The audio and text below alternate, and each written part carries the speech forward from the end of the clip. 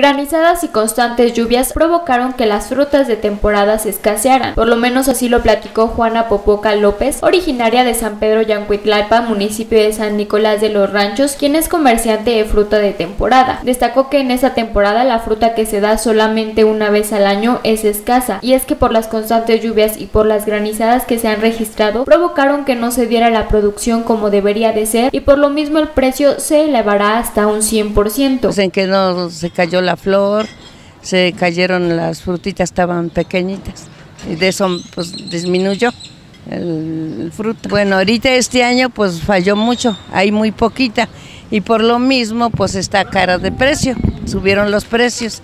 Cuando se da mucho es cuando está cómodo. Pues ahora estuvo más cara, hace un año estuvo un poquito más barata. Pues hace un año las cubetitas que damos ahorita 20 eran nadie. Dijo que por lo menos las ciruelas que se encuentran en dos variedades que son rojas y amarillas tan solo se podrán consumir aproximadamente hasta mediados del mes de julio. No, pues sí, ya ahorita ya casi no hay, ya ahorita, ahorita mediados de este mes ya no hay ciruela ya otra vez empiezan este, las manzanas, los duraznos y la nuez. Platicó que estas frutas se pueden encontrar solamente en zonas frías, como en su caso que las trae desde muy cerca del Popocatépetl. Entre las frutas que están en riesgo son el capulín, el chabacano y las ciruelas. Pues ahorita el capulín, el chabacano y la ciruela.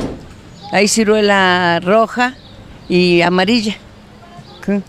Ya para julio pues ya viene el durazno, ya viene la manzana panochera, California y la nuez de Castilla. Pues que aprovechen y que coman pues fruta de temporada porque la demás fruta pues todo el tiempo hay y ahorita es la mejor fruta, el mejor sabor que hay en, de la fruta de temporada.